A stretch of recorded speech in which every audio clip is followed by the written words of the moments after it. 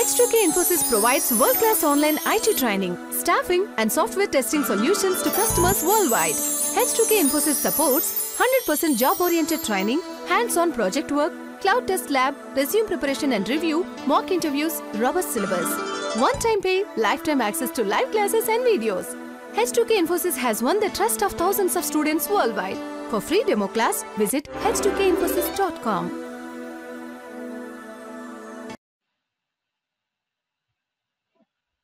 So what you have learned is we have different types of variables and you can define that. So suppose age equals to 5, you can define that and name equals to rishi or whatever like David. Okay, so this is oops, uh, double quotes. So, so when you uh, have variables like that, we also saw that we have different types of variables. Like I have a simple int and then you can specify and I can say float int okay? I can say 10.2 and then i can have a complex int or complex number i'll say. Okay so this is not float int that is uh, ridiculously ridiculous contradiction. I'll say number so float number uh, complex number can have a j in it and you can define like 10 plus 50 j. So you can actually have the complex number also okay. So how do you identify whether this is a complex number? Because uh, sometimes you're gonna keep changing the uh, type of this variable along with the flow of the program. That is completely possible. So you can always check type with the help of type. So type. Okay. And then pass what exact variable you're talking about. So simple int and if I run this code I will get the type of this particular uh, variable which is you know that. So that is python which is class int. So this particular variable follows the class integer and we can use this type methodology for other variables also. So we can use it for float we can use it for complex. So any other uh, type of variables you wanna get to know and you can use it for string also by the way so type of name right? And then if you execute this you will get to know the types of these classes. So one is first is integer second is float third is complex and the fourth one is string. So you will get to know about the type of the variable as so this is something like implicit for you. Uh, so programming languages defining the type internally. So that's why type function is provided to you to identify which type the variable is actually holding. Okay so now you can see this integer, float, complex and string which is printed for this variables. Remember that the variable can change their values. So I can change the simple int to 10.2. I can change the age to and as we already did there. So change the type you can do that so age equals and then you can actually assign something here so if you do that of course I will print it later. And check the type again.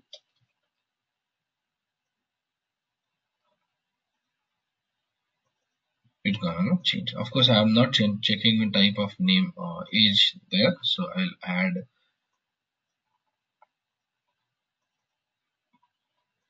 So I'm checking a type here and checking a type here. It's gonna change. Okay so that is something which is you understand this. Good with it any questions?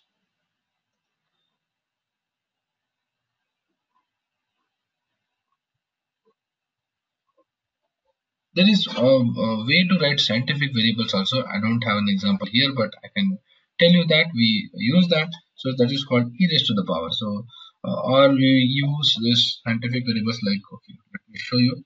So five hours okay and then you have like 32e4 okay this is also a float type. Okay so we are using this kind of variables which are float in type. Okay in scientific community there is specific meaning to this right?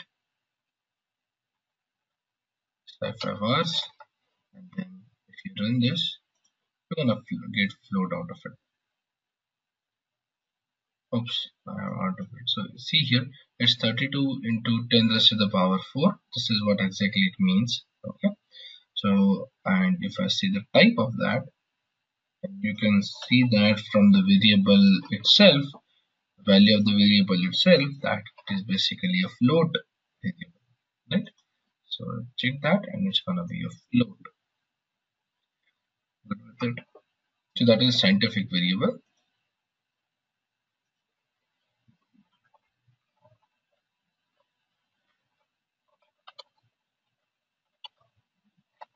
okay rarely used but we should know about it. That's why we added there. But now let's come to the point of casting. So remember when we are printing okay so and uh, in the last session what i did is i just appended one integer to a string and then we got an error. So replicate that error sometimes? And i promised you that we're to cover that today. So this is what it is. So this is uh, integer and then we printed this as it is. And what happened actually we got a error. See that? Oh age is string now. So simple right?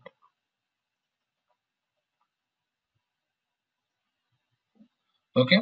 So what exactly happened here is uh, unlike other programming languages especially java it is not automatically parse the stuff for you. Okay it will not convert something into uh, something into string for you. And print actually needs uh, something in string. So how do you parse the stuff? So remember it's it's parsing is really easy in python. So in python you can parse anything to anything frankly speaking. So now let's say you have an integer you want to parse into float or vice versa. You can do that with the help of certain functions. So you have int function okay which is parsing into integer. You have float parse uh, uh, like float function which is parsing into float and str which is parsing into string.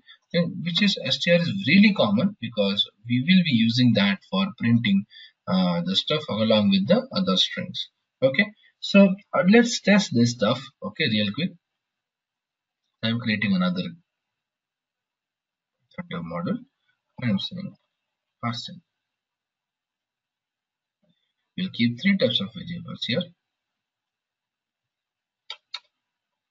we'll say int var and have 100 here we'll say float var have 100.200 or 100.24 and we will keep a string as well. So str var okay and then we'll keep again. Right? And then we'll try to convert that okay. So first thing we will do is we will convert that uh, convert integer sorry convert float into integer. Okay that will be easy. So um, float to integer and then it will be like int function where you pass your float value.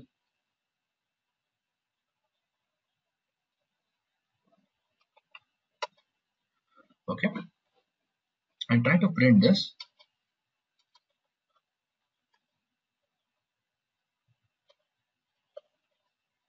grab this and then you will be able to see the value which is an integer. So this is integer parsing right? So you're gonna get 100 out of it and whatever after decimal point is not considered. Right? You can do reverse also like int to float. And then you pass it to float. This value and then try to print it. Print. Int to float. Right and it will be 100.0 so now this variable will be considered as float. Okay? You're converting you're passing those values. And finally uh, whenever we are printing other types of variables we can parse it into string. So passing str is really common.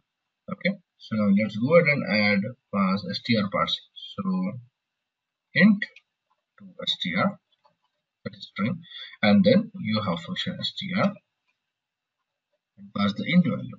Although you will not be able to see any difference because anyway uh, even if you are printing that nothing gonna happen. Okay there is no change in the variable right?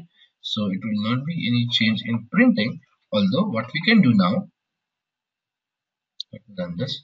What we can do now we can actually add some text so this is integer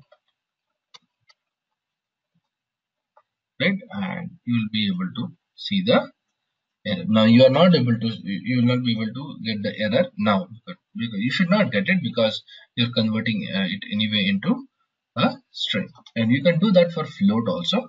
So float string and str function. Although we generally don't do that. We can directly write str into our here. Okay we don't add an additional step of parsing and then printing later. Okay we don't do that. We directly print it right there. Print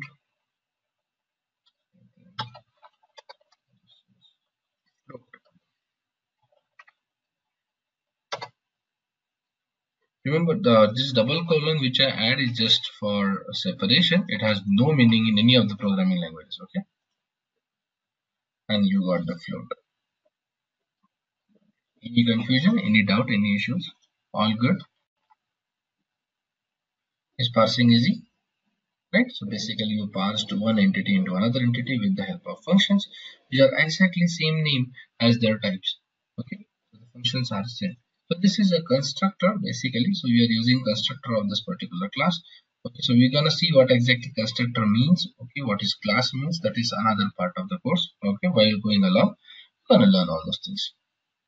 Okay so let's understand python string a little bit. So python strings okay so this is parsing so i'm closing this class and then we are learning the next one which is python strings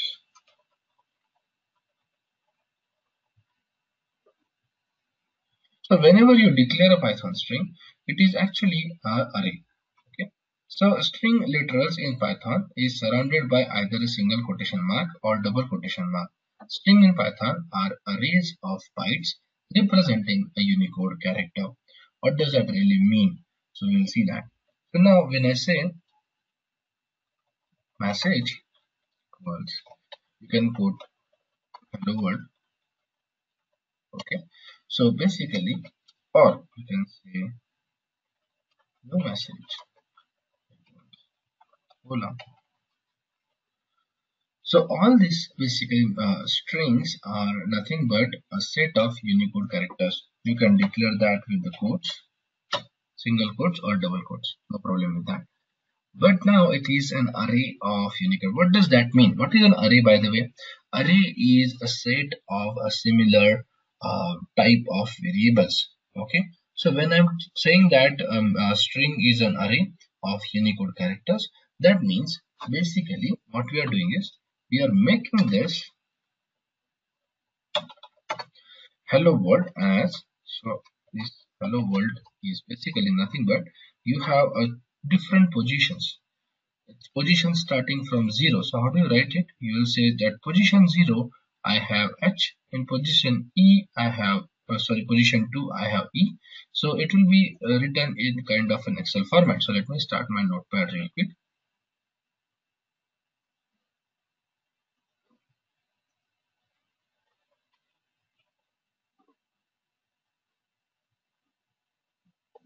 So the uh, hello world which I wrote here.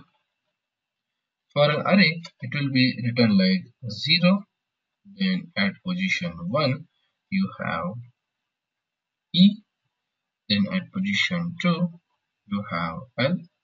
Position 3, you have L. Position 4, you have O. So this is how it will be written. So this is basically an array. Array is a collection of similar entities okay, tied up together. So in Python, every string is a set of or is an array of characters, array of Unicode characters. Okay. So here hello world is represented in similar way. So you can actually access this particular array elements with the help of these indexes. So this is called as an index of this particular uh, Unicode character. Okay. So let me complete this real quick so we will be able to understand what exactly we are doing here. So here finally you have 9 the index always starts with 0 so this is index and string array. Okay? Index always starts with 0 okay? No exceptions. Index